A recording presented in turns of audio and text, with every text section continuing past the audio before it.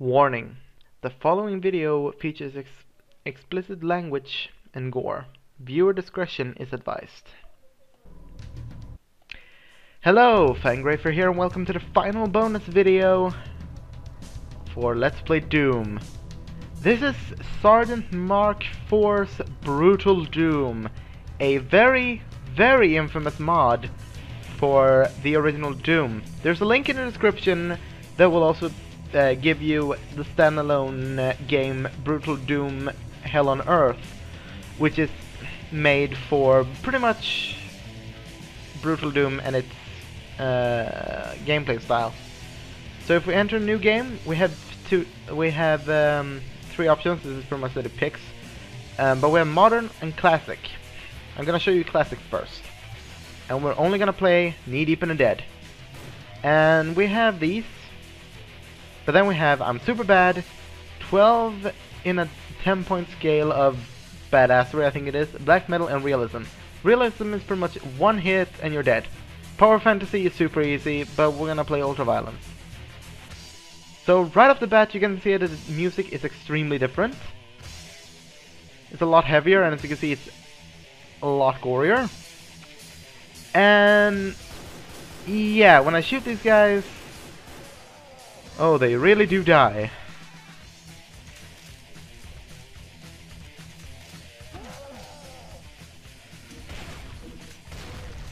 As you can see, it's really bloody, really gory. I'll be right back. Okay folks, I'm back. Now the only difference, as you can see, my punch is a lot faster. Now, this is pretty much the Doom we just played, but it's a lot gorier. So in case you liked um, the game that I played through, but you're like, I want it to be a lot, I want it to be more gorier. I mean, the game is supposed to be brutal and whatnot. Make, is there a way to make it more gory? Yes, it is. It's called Brutal Doom. And it's called Brutal for a reason. Just look at this hallway when I mow down these bad guys. And yeah, the game of sort of awards you to be brutal. So if a, if an enemy is on his knees just crying out in pain, if you kill him, you might get more armor or more health. Uh, and I definitely recommend you play um, Ultra Violence or higher. because let me tell you, this playstyle, oh my god, it is so much easier to kill anything in this game um, unless you play on uh, ultra violence. But as you can see, yeah, these things are a lot more dangerous now with the uh, the explosions and whatnot. So I honestly really really liked what um, Sergeant Mark IV uh, Mark IV did. Uh, he pretty much changed the sprites and whatnot. You can also change so that they have different uh, enemy AI. Like for instance. Um, you can have so that the imps uh, leap at you. You can have the normal imp as you can see here, rapid fire at you instead of um, uh, shooting at you normally. And um, yeah, if you put classic, you pretty much go with the classic weaponry. Um, it doesn't take full advantage of the uh, changes that um, Sergeant Mark IV did. I mean, sure, you still have the over-the-top gore, but it's not gonna be like... I mean, sure, you can fire this thing a lot faster, um, and it's a lot more fun to just roam around with just a pistol, but it's nowhere near its full potential, if we're gonna say that. Um, but of course, as you saw, it also picks modern, and I'll, I will show that in just a moment.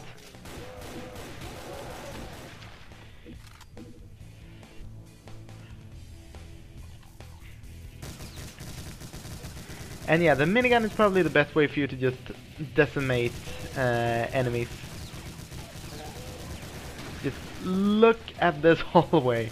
Compared to the original game, it would just be dead guys on the floor and small bits of blood, nothing this big. And you can actually change the amount of blood, and yeah, the game is quite brutal when it comes to killing uh, to your to you dying. So let's check out modern. Again, uh, knee deep in the dead, ultra violence.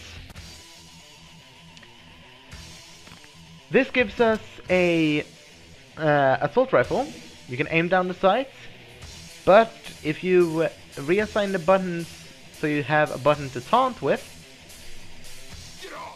yeah, he flips the bird and literally taunts the enemy.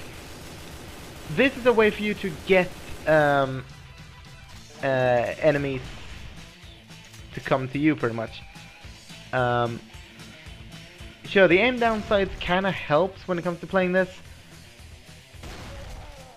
Um, and yeah, every weapon have like these sec uh, secondary uh, fire modes, for instance.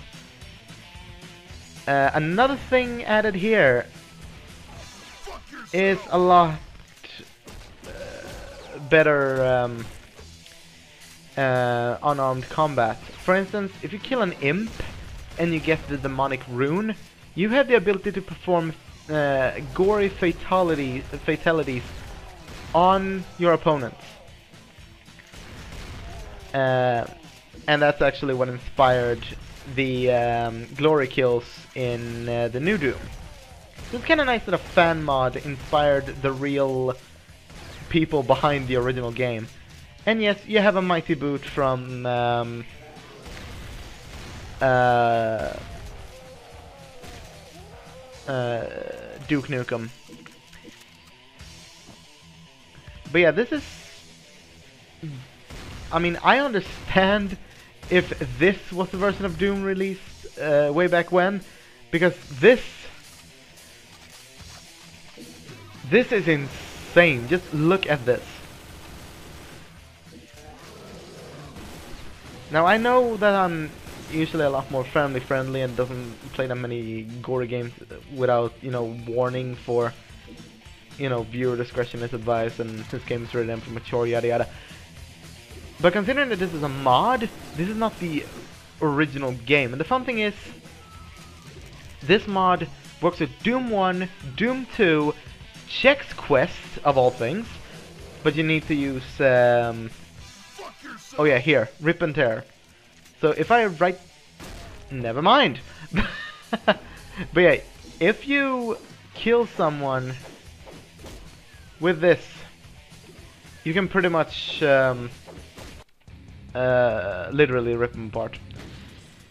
But yeah, like I said, every weapon in the game has secondary aim, uh, secondary functions. It can be anything from aiming down sights to um, using a lot more ammo to use a lot more of a devastating attack.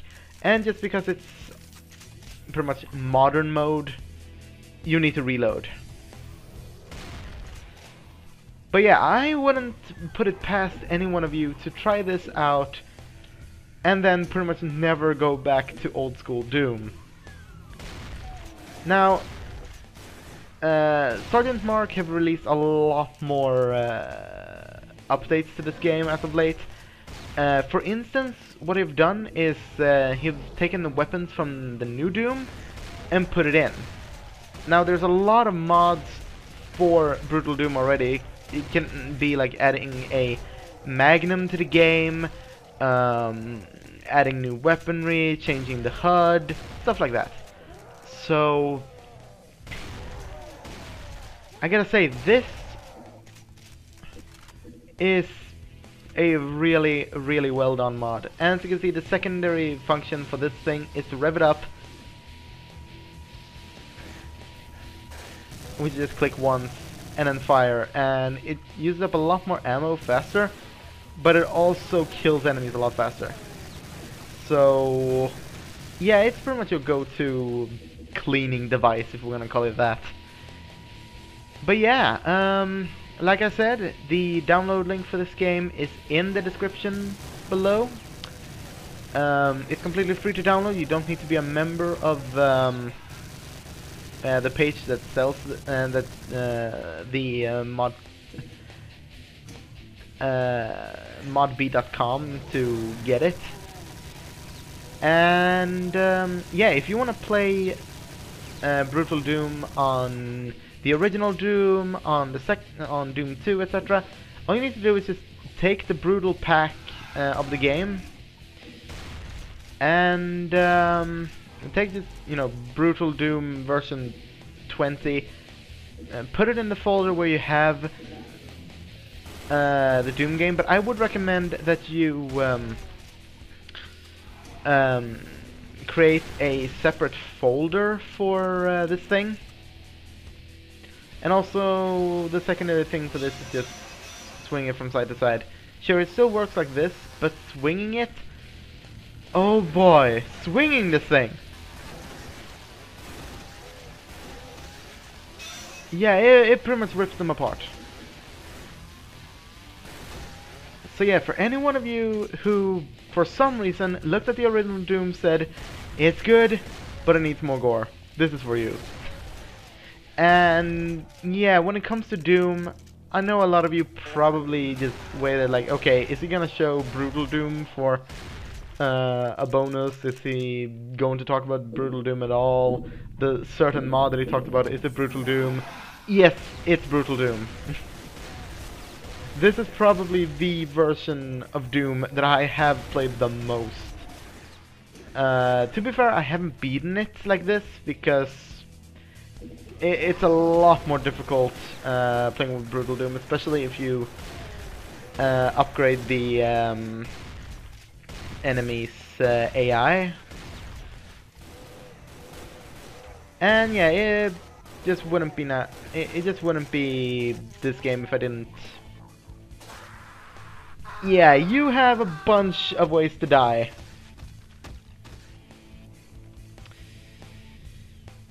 But yeah, that is all. Thank you all so much for watching, and I'll see you in Transylvania.